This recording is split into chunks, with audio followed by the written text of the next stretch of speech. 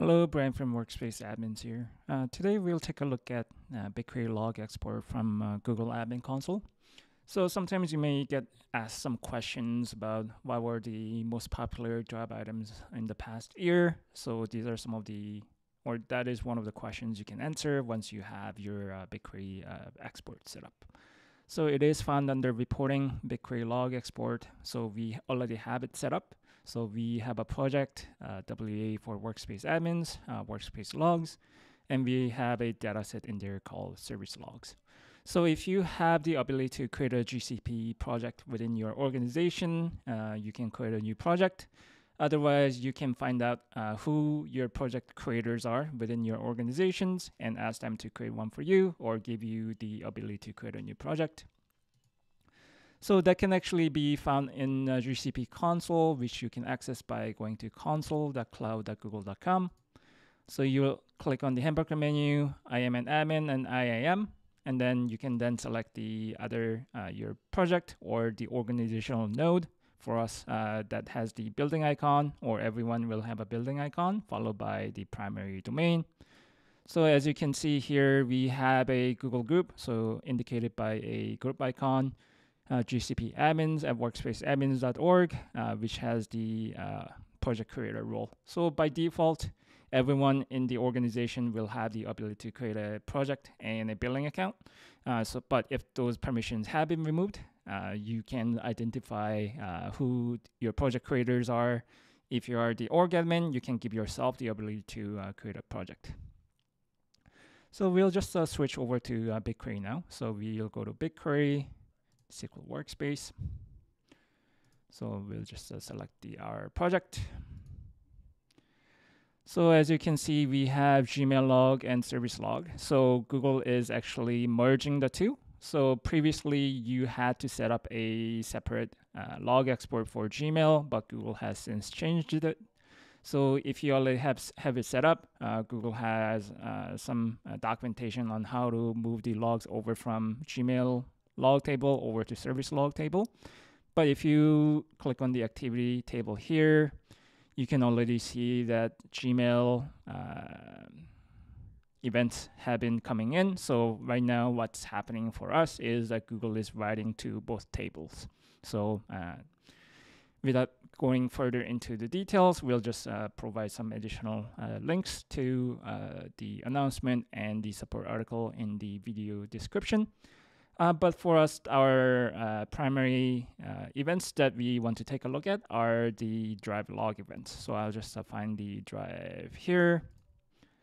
So we have the doc ID, obviously ID of the file, uh, some informations about the users, document types, uh, titles, the domains, etc. So we have the activity table here, and we also have a data set uh, so we create another data set called views, uh, where I am creating some uh, views where I can.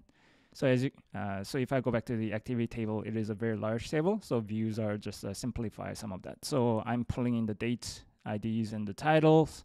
So I'll just click on the details here. So you can see the query that I put together. So I'm basically extracting the date. So I am uh, just converting that to just a year, month, date. So I'm in uh, Calgary, so I'm using Edmonton as a time zone. I'm pulling the document ID and the title. And we are looking at the events after uh, January 1st. And then I'm saving this, saving this as a view. So if I go click on query, I'll just do it in a split tab. So I can just do select star and run it. So you can see here, uh, so this is not aggregated by any means. So I have all the events uh, in uh, ascending order. So uh, I can see the, all the individual events, but I may want to group it by uh, doc ID. So I'll just do group by two.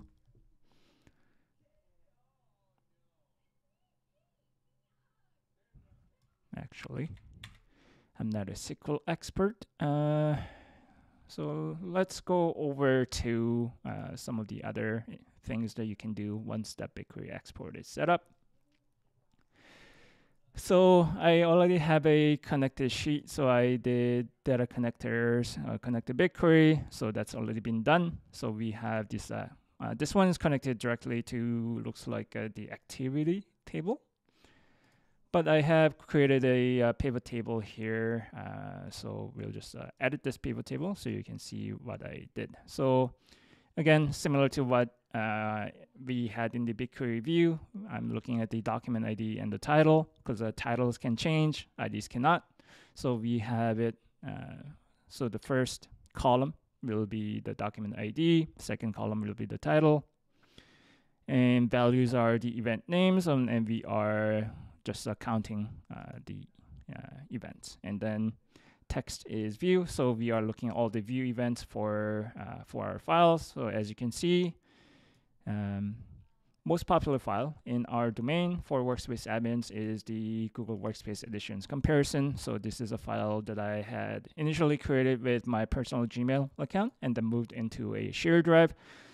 So this is looking at all the events. So that file looks like it's been viewed uh, 62,000 times. I'll just refresh the table and see if that's gone up.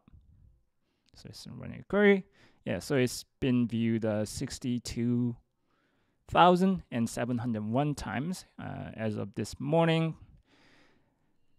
So that's one way of looking at the data uh, once uh, the BigQuery uh, export is set up. So the other way is connecting the your data to uh, Google's Looker Studio, formerly Data Studio. So if I look at managed data sources, so Drive View Events uh, is a BigQuery data source, and this one is connected to the, connected the view uh, that I created rather than the actual activities table. So again, uh, dates are aggregated, um, or we are just uh, getting the exact date, so year, month, date. Uh, IDs and the titles we're pulling in. So I have a, I'll just close this. I just have a, a graph of uh, all the events. So we are, we are looking at some of the dates where we had a lot of views. So it looks like June 1st, uh, there were a lot of views uh, in our domain. Similarly, we, we had another high views sometime in early December.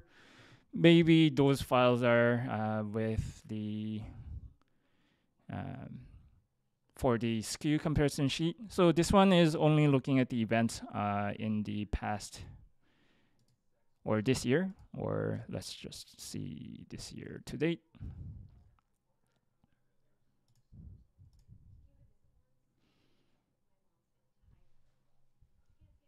So it'll take a while.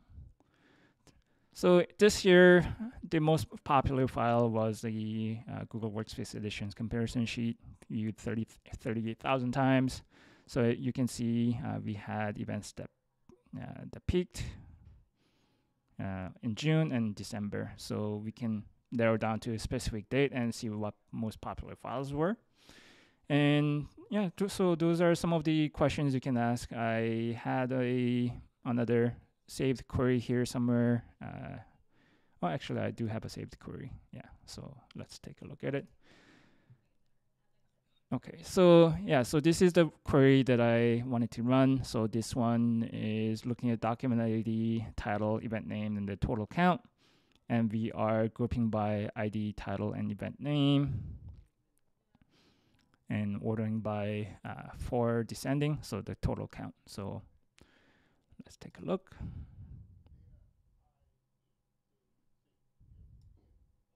Yeah, so yeah, this is the um, what I wanted to look at. So again, we have the total count here, which matches the information in this Google Sheet. So we are looking at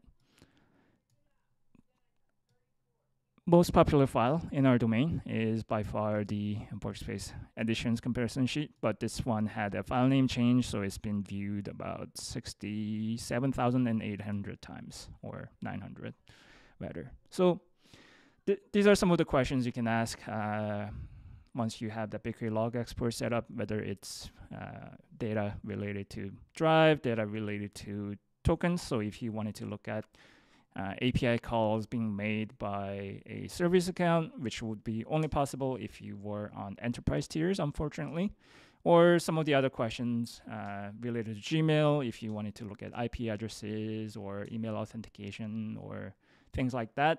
Uh, those are some of the uh, questions you can think of. If there's any specific query queries or data you want to take a look at, leave us uh, comments below and give us a like and uh, subscribe to our channel. Thank you.